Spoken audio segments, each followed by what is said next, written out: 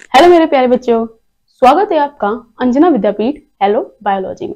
तो बच्चों last class में हमने डिस्कस किया था, हमने स्टार्ट किया था चैप्टर लिविंग वर्ड और उसमें हमने डिस्कस किया था कि लाइफ क्या होती है और लाइफ के कैरेक्टर्स क्या हैं।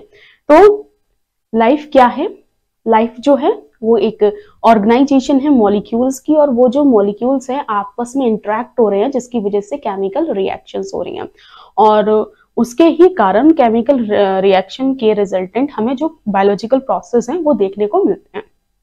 तो फिर हमने डिस्कस किया था कि लाइफ जो है, उसे हम किसी भी डेफिनेशन में बाँध कर नहीं रख सकते हैं। तो हमने एक पॉइंट वहाँ पर डिस्कस किया था। वो ये था कि life can not be defined it can only characterize यानी कि जो लाइफ है, उसे डिफाइन नहीं किया जा सकता उसे सिर्फ़ कैरेक्टर्स के द्वारा समझा जा सकता है। तो वो कई सारे कैरेक्टर्स हमने डिस्कस किए थे कि कौन कौन से कैरेक्टर्स होते हैं। तो पहला कैरेक्टर था उसमें से डिफाइंड शेप एंड साइज़ यहाँ पर कहने का अर्थ ये है कि जो लिविंग थिंग्स हैं या लिविंग ऑर्गेनिज्म हैं, उन सब लिविंग ऑर्गेनिज्म में एक स्पेसिफिक जो कैरेक्टर है वो ये है कि हर लिविंग ऑर्गेनिज्म का एक डिफाइंड शेप होता है और एक डिफाइंड साइज़ रहता है।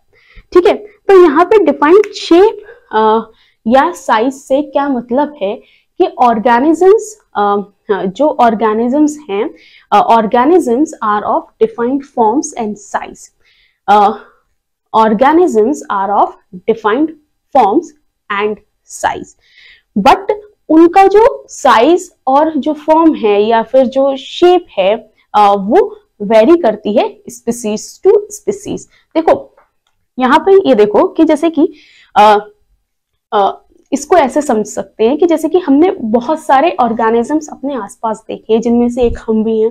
हमारे पैट्स होते हैं डॉग हो गया कैट हो गया और यहाँ हम बात करें कि एलिफेंट्स की अगर हम बात करें लाइन की बात करें तो यदि हम लाइन को देखते हैं, यानी कि जो बिग कैट्स हैं, हम उसको देखते हैं तो हम कहते हैं, जब लाइन आता है हमारे सामने तो हम कहते हैं वो लाइन है।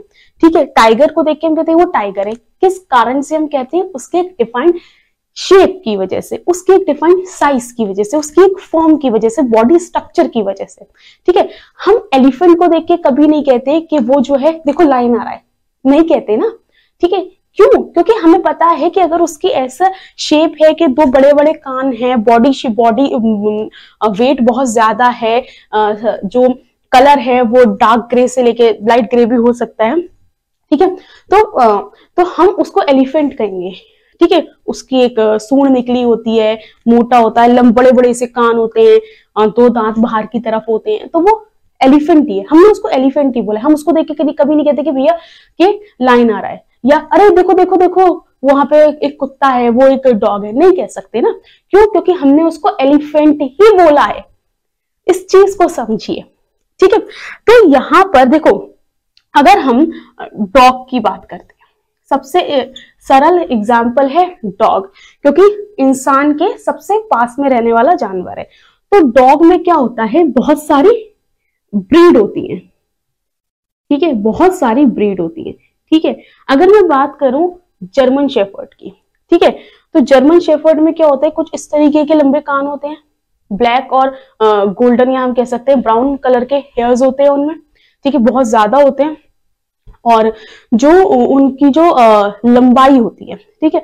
जो जर्मन शेफर्ड है, उसकी जो लंबाई है, वो लगभग 22 से 26 इंच की लंबाई होती है। बॉडी वेट भी कुछ ज़्यादा होता है, लगभग 60 से 90 पाउंड के बीच का बॉडी वेट होता है, ठीक है? उसी प्रकार तो जर्मन शेफर्ड, हम दूर से पहचान जाते हैं कि भाई ये जर्मन शेफर्ड है। वो बचपन से ही जर्मन शेफर्ड ही पैदा हुआ था, ठीक है?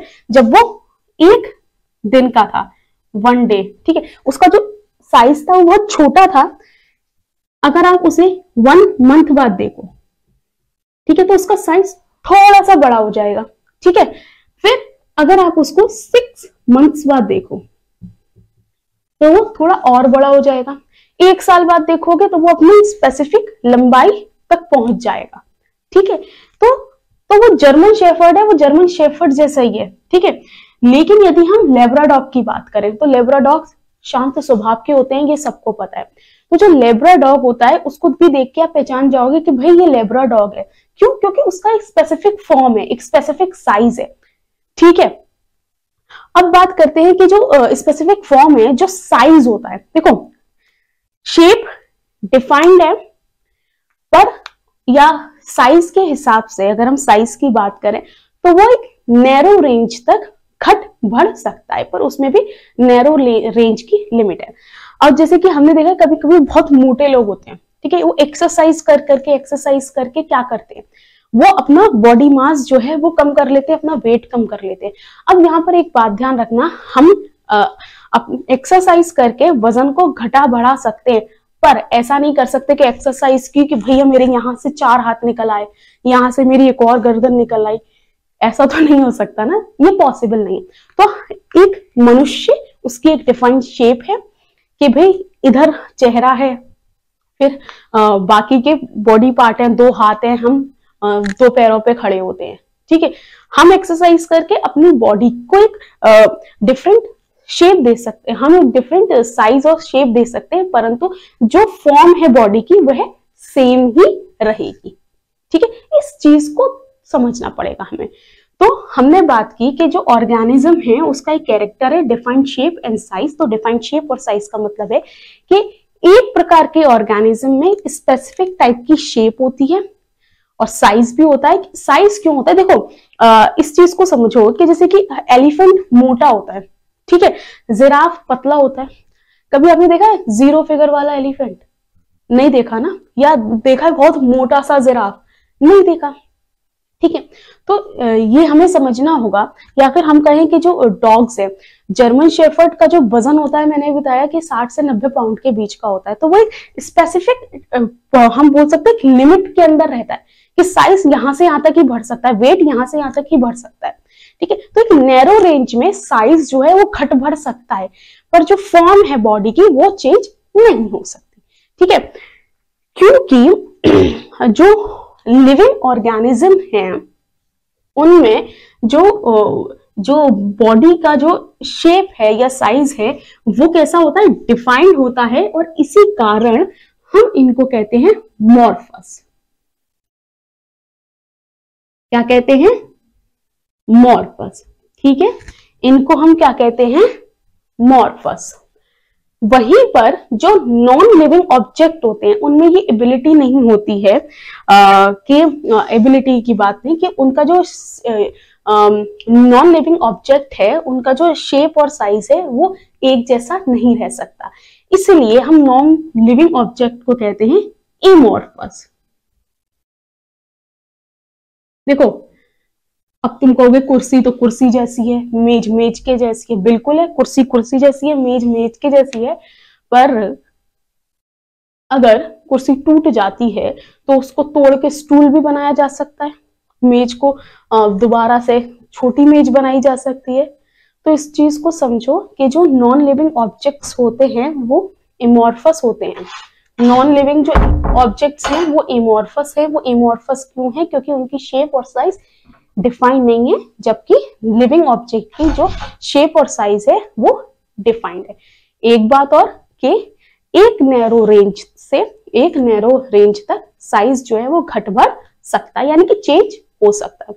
तो बच्चों ये था हमारा आज का लेक्चर और आज हमने डिस्कस किया कि डिफाइंड शेप और साइज़ क्या है। बस समझने की कोशिश करो, अपने आसपास देखो कि अपने आसपास देखो, खुद एक्सप्लोर करो कि भाई इसका मतलब क्या है? Defined shape and size simply कोई भी ऑर्गेनिज्म है लिविंग ऑब्जेक्ट है, उसका जो शेप है या फॉर्म है, वो डिफाइंड होती है। वो एक नैरो साइज़ तक घट बढ़ सकती है चेंज हो सकती है। इसके अलावा और कुछ नहीं। सबसे बड़ा एग्ज़ाम्पल हम खुद हैं। हम अपनी बॉडी को एक डिफरेंट शेप दे सकते हैं, पर डिफरेंट शेप से मेरा मतलब है, हम एक्सरसाइज करके अपनी बॉडी को डिफरेंट उस शेप में ला सकते हैं, क्योंकि वज़न घटा बढ़ा सकते हैं, वो भी एक लिमिट तक। पर हम ऐसा नहीं कर सकते कि अपने ये दो हाथ की जगह चार हाथ बना लें, या दो पैरों की जगह हम एक ही पैर पे ऐसे करके खड़े हो जाएँ, एक पैर गायब हो जाए, ये पॉसिबल नहीं है। तो हर ऑर्गेनिज्म का एक डिफाइंड शेप और साइज़ है। तो बच्चों आई होप कि ये जो टॉपिक है ये आपकी समझ में आया हो कि ये क्यों इंपॉर्टेंट है और क्यों ये लाइफ का एक कैरेक्टर है। ठीक है बच्चों? तो बच्चों, मिलते हैं नेक्स्ट लेक्चर में। तब तक के लिए बाय बाय और चैनल को सब्सक्राइब करना ना भूलें, क्योंकि आपका एक सब्सक्रिप्शन आपका जब एक सब्सक्राइब करते हो ना तो वो मुझे बहुत मोटिवेट करता है। तो चलो मिलते हैं फिर अगले लेक्चर में। तब तक के लिए बाय बाय